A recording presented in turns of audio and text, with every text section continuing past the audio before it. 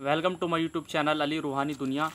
दोस्तों, आज बात करूँगा स्टोन प्रॉब्लम, किडनी में स्टोन हो जाती है, पथरी हो जाती है। लोग बहुत परेशान हैं इस बात को लेके। काफ़ी लोग चिंतित रहते हैं कि भैया बहुत सारी दवाई कर ली, क्योंकि पथरी भी दो तरह की होती हैं। और क्या बेस्ट है, कौन सी ऐसी दवाई है जो सबसे अच्छा काम करती है स्टोन में?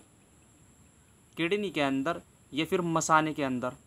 स्टोन का हो जाना, पथरी का हो जाना। बड़ी पंद्रह एम तक की पथरी। क्योंकि कुछ लोग परेशान रहते हैं दर्द की शिकायत से। तो नीरी के साइड इफ़ेक्ट और नीरी टैबलेट और नीरी सिरप मार्केट के अंदर बहुत सारी दवाइयाँ ये भी आयुर्वेद है और भी बहुत सारी दवाइयाँ हैं मार्केट के अंदर जो सिरप आते हैं, वो भी देसी ही आते हैं। अब बात कर ली जाए, लोग कहते हैं कि भैया आयुर्वेद में साइड इफ़ेक्ट नहीं होता। जी हाँ बिल्कुल नहीं होता। ये बात आपकी ठीक है, लेकिन स्टोन की जितनी भी दवाइयाँ हैं उनसे जो है मसाने के अंदर दिक्कत आ जाती है। अब मैं पहले आपको ये बता दूँ कि कितनी एम तक आप इसको इस्तेमाल कर सकते हैं नीरी को। अगर आपके साथ आठ एम या दस एम तक आपके पथरी है तो आप जो है खाली एक टैबलेट खा सकते हैं सुबह में और शाम में खा सकते हैं चार पाँच बजे या फिर दिन में सिर्फ़ एक ही टैबलेट खा सकते हैं। ये घोल देगी आपको पथरी, आपकी जितनी भी पंद्रह एम तक की पथरी को ये आपकी घोल देगी बिल्कुल। चूरा चूरा बनाकर। और सबसे बढ़िया बात यह है कि नीरी जो सिरप है और टैबलेट है, अगर आप सिरप इस्तेमाल करना चाहते हैं, आप सिरप इस्तेमाल करें। मेरे हिसाब से अगर आप टैबलेट इस्तेमाल करें तो ज़्यादा अच्छा है, क्योंकि नीरी जो सिरप है, वो बहुत तेज़ी के साथ में जो है गर्मी पैदा कर देता है। कहाँ कहाँ गर्मी पैदा कर देता है? ये मसाने में आपकी गर्मी पैदा कर देगा। दूसरा, आपको जो है नाइट फॉल की जो है प्रॉब्लम होने लगेगी तो ये दिक्कत है। अब बात कर लूँ मैं कि इससे जो है वीर्य में, यानी कि जो हमारे कैल्शियम वगैरह जो होता है हमारा, उसमें थोड़ी दिक्कत आ जाती है। जैसे नाइट फॉल का होना, या फिर थोड़ा पेशाब, जल्दी आना, तेज़ी के साथ में आना, या फिर धीरे धीरे पेशाब आना, या फिर पेशाब के रास्ते में जलन का होना। ऐसा आपको महसूस हो सकता है।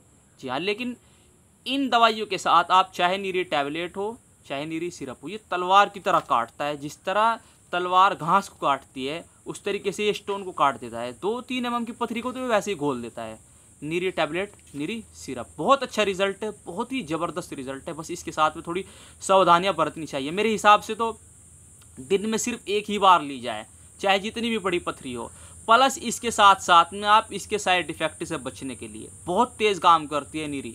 ये गुर्द को भी काट देती है। बहुत तेज़ के साथ में काम करती है। बस यही कि इसका जो सेवन है वो आप धीरे धीरे करें।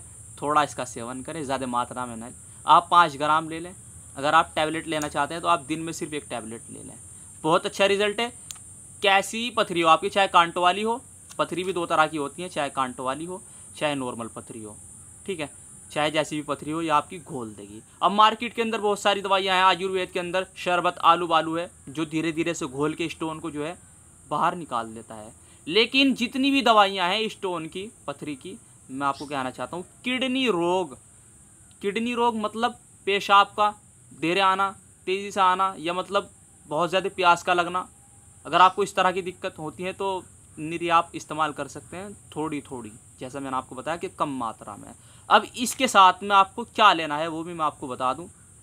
अगर आप शरबत, बाजूरी मोतदिल लें इसके साथ में एक चम्मच, एक टाइम में तो आपको, आपके मसाने में गर्मी बिल्कुल भी पैदा नहीं होगी। और गुर्दे भी आपके जो है पानी को सही फ़िल्टर करेंगे, उतना पेशाब नहीं आएगा।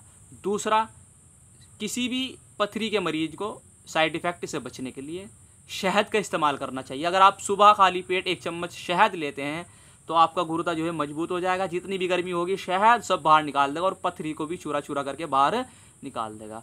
तो ये दो तीन दवाइयाँ और तीसरा माजून दबिदुल वर्द, वो भी आप खा सकते हैं।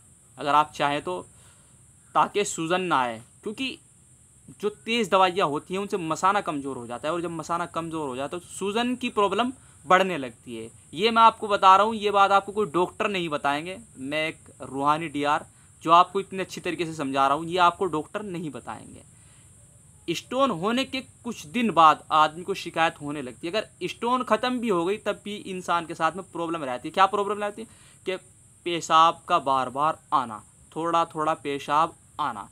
ये शिकायत, जिन लोगों को रहती है, वो मुझे कमेंट ज़रूर करेंगे। ठीक है? मैंने आपको बता दिया, आप कुछ कागनज भी इस्तेमाल कर सकते हैं, एक गोली, एक टाइम में। हमदर्द की है। वो भी आप इस्तेमाल कर सकते हैं, अगर आपके किडनी में पहले जो है स्टोन थी और वह बाहर निकल गई, आपकी या नहीं भी निकली, तब भी आप जिन लोगों के बार बार पथरियाँ बनती हैं, वो लोग इस्तेमाल कर सकते हैं कुछ कागनज अब मैंने आपको नीरी के बारे में बताया कि नीरी का बहुत अच्छा रिज़ल्ट है, आप इस्तेमाल कर सकते हैं, लेकिन थोड़ी थोड़ी मात्रा में आप इस्तेमाल करें। बहुत तेज़ी के साथ पथरी को घोलने में मदद करती है। और अगर आपको ये दवाइयाँ सूट नहीं करती, जैसे कि कुछ लोग कहते हैं कि भैया मेरा तो गुर्दों पे सूजन आ जाती है एकदम, दवाई तेज़ है, हो सकता है कि गुर्दे में सूजन आए, बिल्कुल आए भाई, दवाई बहुत तेज़ है, तलवार की तरह काम करती है।